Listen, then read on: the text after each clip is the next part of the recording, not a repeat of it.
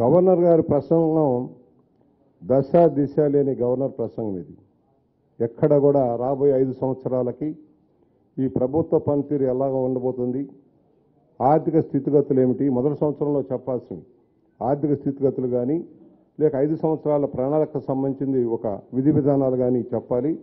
ఎక్కడ కూడా గవర్నర్ గారి ప్రసంగం చప్పగా సాగింది. ఈ ప్రసంగం అంతా కూడా వైఎస్ఆర్ పార్టీ పాంప్లెట్ లాగా ఉంది కానీ ప్రభుత్వ విధి విధానాలకు సంబంధించినగా మాకైతే కనిపించలేదు. మేము వాళ్ళు చెబుతున్నాం అనేక సమస్యలు ఉన్నాయి ఆ సమస్యలకి స్పష్టమైన విధానం లేదు.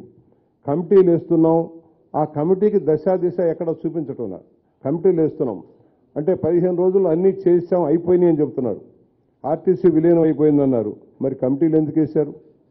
కమిటీలు వేసిన తర్వాత విధి విధానాలు ఎప్పుడు వస్తాయి అలాగే అనేక అవకతవకలు ఉన్నాయి గతంలో అని చెప్తా ఉన్నారు. నిర్దేశితంగా ఇది జరిగిందని చెప్పలేకపోతా ఉన్నారు.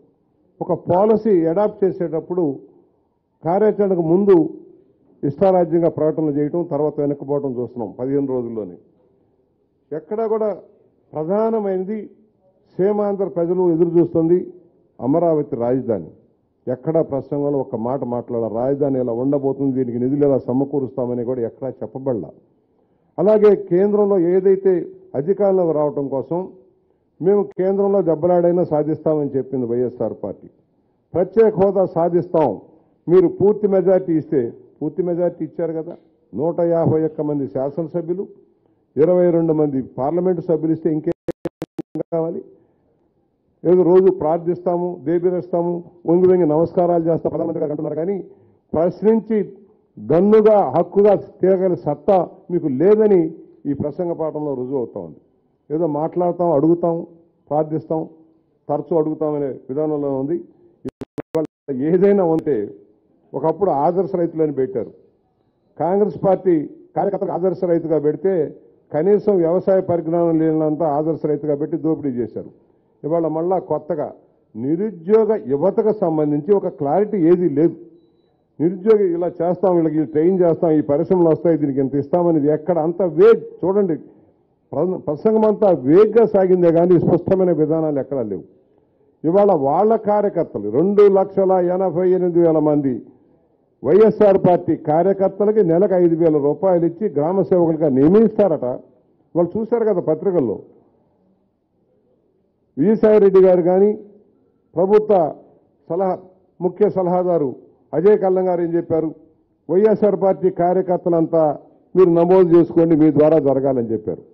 అంటే వైఎస్ఆర్ పార్టీ కార్యకర్తలకి నెలకు ఐదు వేల రూపాయల చొప్పున దాదాపుగా పదకొండు వేల కోట్ల రూపాయలు దోచిపెట్టేదానికి ఒక కార్యక్రమం మాత్రం గవర్నర్ ప్రసంగంలో స్పష్టంగా ఉంది. విధి విధానాలు ఏమిటి? గైడ్లైన్స్ ఏమిటి? గత ప్రభుత్వంలో పారదర్శకత పెద్దపేట వేశారు. అంగన్వాడీ కానీ లేక పేరు ప్లే షాపు కేటాయింపు చేయాలన్న నిర్దేశ వారికి లక్ష్యాలు నిర్దేశించడం జరిగింది. వారు ఖచ్చితంగా చెప్పారు ఇవి ఉండాలి. వారికి క్వాలిఫికేషన్ ఉండాలి ఈ వయసు పరిమితి ఉండాలని. మరి మీరేం చెప్పటం నా ఈ రోజున. మీ కార్యకర్తలు పెట్టడం కోసం ప్రయత్నం చేస్తామన్నారు. అలాగే ఇవాళ పెన్షన్ ప్రతి అవ్వకి తాతకి ఐదు సంవత్సరాల్లో పద్దెనిమిది వేల పద్దెనిమిది వేల రూపాయల చొప్పున నష్టం రాబోతోంది. పద్దెనిమిది వేలు నష్టం రాబోతుంది ఐదు సంవత్సరాలు. నాలుగు సంవత్సరాల్లో మీరేం సంవత్సరం సంవత్సరం పెంచుకుంటూ వెళ్తారట.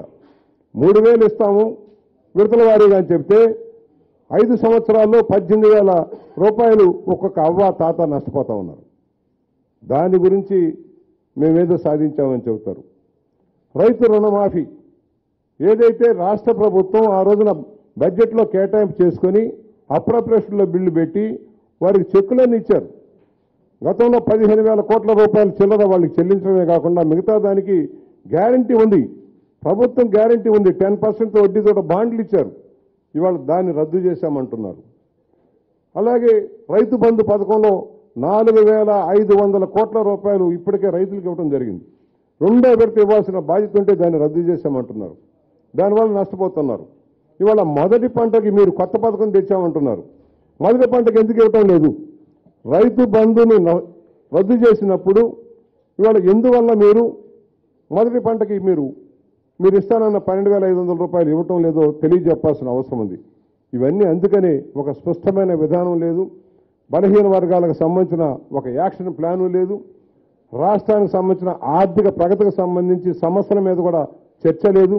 అందుకనే ఈ గవర్నర్ గారి ప్రసంగం చప్పగా దశ దిశ లేని విధానం ఈ ప్రభుత్వం కూడా దశ విధానంగా విధానం వెళ్తుంది ఏదో మందబలం వచ్చింది కనుక ప్రతిపక్షాన్ని అవినీతి అక్రమాల మంచ వారికి అంటిద్దాం మరక అంటిద్దామనే ఆలోచన తప్పితే ఎక్కడగా స్పష్టమైన విధానం లేవని ఇవాళ తెలియజేస్తా ఉన్నాం. మేము ఒకటే అన్నాము విమర్శ చేసేటప్పుడు శాసనసభలో లేరు. ఇక్కడ ఏం జరిగిందో తెలియదు అంత కొత్త బెచ్చగాడు ఏదైనా పొద్దు జరిగిన కొత్త బెచ్చగాడు అన్నాం అర్థం చేసుకోండి. కొత్త బెచ్చగాడు అంటే అర్థం ఏంటి? కొత్త ఎమ్మెల్యేలు పట్టుకొని నిన్న బంట్ బంట్రోజ్ అంటే మీరు ఎవరు మాట్లాడలేకపోయారు? బా బంట్రోజ్ అంటే చర్యలు రాలా? ఏనండమ్మా వినండి అది తప్పు కాదు. కొత్త బెచ్చగాడు పొద్దరగనట్టుగా అన్నాను.